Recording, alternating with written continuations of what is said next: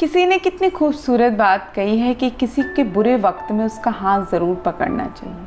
उसको सहारा देना चाहिए, हिम्मत देनी चाहिए, क्योंकि बुरा वक्त तो थोड़े में समय में चला जाएगा, लेकिन वो व्यक्ति आपको ज़िंदगी भर दुआएँ देता रहेगा। हो सकता है कि हमें ये महसूस हो कि ये जो छोटा सा काम हम किसी के लिए कर रहे हैं, उससे क्या फ़र्क पड़ता है? लेकिन याद रखिए कि वो छोटा सा काम भी किसी की ज़िंदगी के लिए बहुत ही मूल्यवान हो सकता है। तो बात करेंगे एक ऐसी कहानी की जो आपको इस बात पर विश्वास दिला देगी कि आपके के द्वारा किया गया एक छोटा सा अच्छा काम भी किसी व्यक्ति की ज़िंदगी बदल सकता है।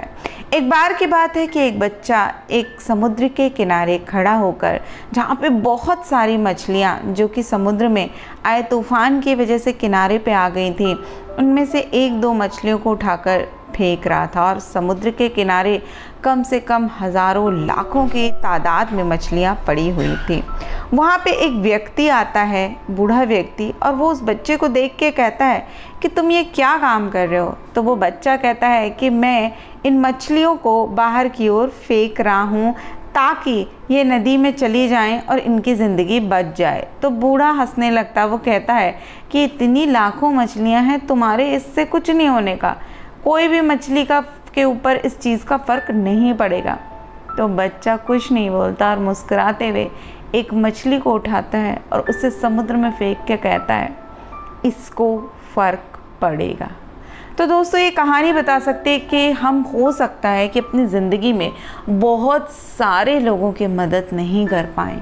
हो सकता है हम बहुत लोगों की ज़िंदगी में बदलाव नहीं ला सकें, लेकिन अगर हम किसी एक व्यक्ति की भी सहायता कर पाएँ तो शायद इस धरती पे ईश्वर ने जो हमें पैदा करके, जो हमारे ऊपर एहसान किया है, एक हमें मानव बनाया है, उस मानव बनने की जो हमारी प्रक्रिया है, शायद उसमें हम सफल हो जाएँ। और कोई कहता है ना कि ना दौलत से, न शहरत से, न बंगला गाड़ी रखने से। मिलता है सुकून दिल को किसी गरीब की मदद करने से। तो हमेशा यदि आप इस फॉर्मूले को अपनी ज़िंदगी का लक्ष्य बना लें कि मेरी एक छोटी सी सहायता अगर किसी को नहीं तो किसी एक छोटे से जीव के लिए भी सहायता कर सके तो शायद मेरी ज़िंदगी जीने का जो मकसद है वो बदल जाएगा। तो दोस्तों, आशा करती हूँ ये छोटी सी कहानी आपको पसंद आई होगी। ऐसे ही रोचक कहानियों के लिए कृपया आप हमारे चैनल को लाइक करें, सब्सक्राइब करें और शेयर करना ना भूलें। तो फिर मिलते हैं तब तक के लिए नमस्कार।